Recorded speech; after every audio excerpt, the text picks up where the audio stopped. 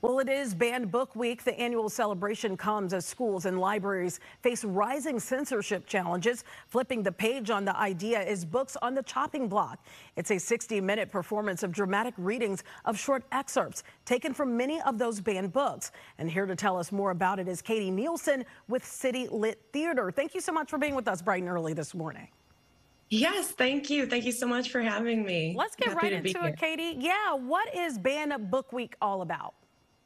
So, Banned Books Week is an annual awareness campaign that's promoted uh, by the American Library Association or the ALA, and um, it happens every year. We at City Lit Theater, we're a theater company up on the north sh- north side of Chicago, up in Edgewater. We've been celebrating Banned Books Week for the last 18 years um, and doing books on the chopping block. It aims to, you know, bring attention to the harms of censorship um, and awareness to book challenges. When we first started, people didn't realize book challenges or bans were even happening. And of course, um, in this day and age, we're a little bit more aware of that. Um, but yeah, for more information, you can go to ala.org and learn all about it.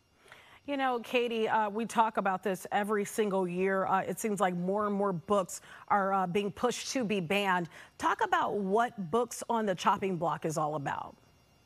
So, Books on the Chopping Block takes um, the top 10 most frequently challenged books each year. So, the American Library Association's Office of Intellectual Freedom keeps track of reported challenges, a formal written complaint that's filed with a school or a library asking that materials be removed.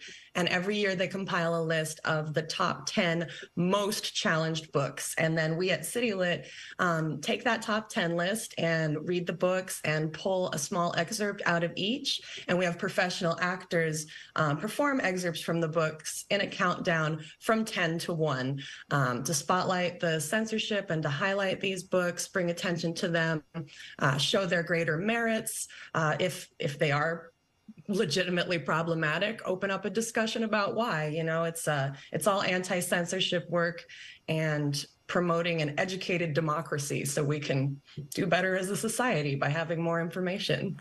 I know you're having one of these events today uh, in River Forest at the public library. Can you talk about what people will see if they come out to this event? Yeah, absolutely. So you're going to see four fabulous actors, all representative of the voices in the books. Um, you'll be, it's very casual. We're all in a meeting room together. Uh, there's no fourth wall.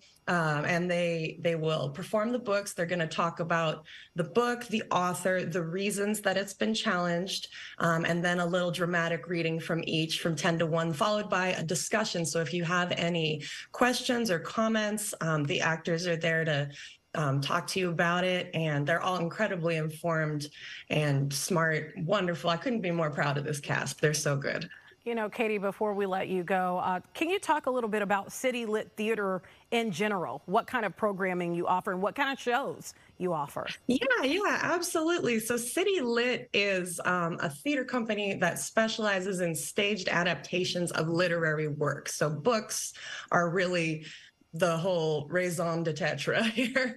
Um, we currently have a show called The Innocence of Seduction, um, and it's about book censorship, actually, and comic book censorship.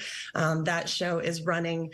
Um, gosh, I think we're coming up to our final weekend. We're up at 1020 West Bryn Mawr Avenue, and you can go to citylit.org for more information and uh, check out tickets, check out past shows. We have a whole banned books uh, page on the website. That's a cool theater. I'm happy to be there. We're happy that you joined us this morning. Katie, it's been a pleasure. Thank you so much. Thank you so much for having me. Happy Banned Books Week. Yeah, happy Banned Book Week. That is.